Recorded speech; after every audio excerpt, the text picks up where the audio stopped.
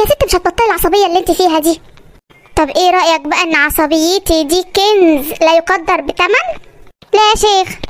أو ربنا يرحمكش علماء النفس هم اللي قالوا كده إن المرأة العصبية كنز ثمين وفي 11 دليل على كلامي ده.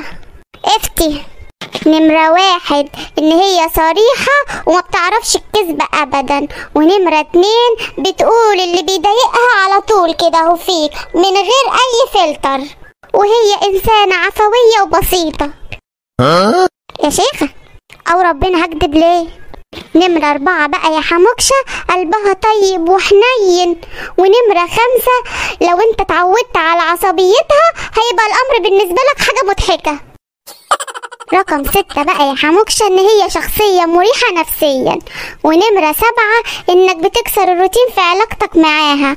ونمرة تمانية بقى إنها طيبة جدا ومش مصطنعة أو ربنا. نمرة تسعة بقى يا حموكشة إنها سريعة الروقان. بكلمة حلوة ونظرة في عينيها تلاقيها ضحكت شبه الهبلة. ونمرة عشرة إنك هتحتاجها في الأوقات الصعبة. نمرة 11 بقى والمهم إن أنت لازم تحافظ عليها لأنها كنز ثمين بالفعل. السؤال بقى كم واحدة عصبية موجودة معانا هنا؟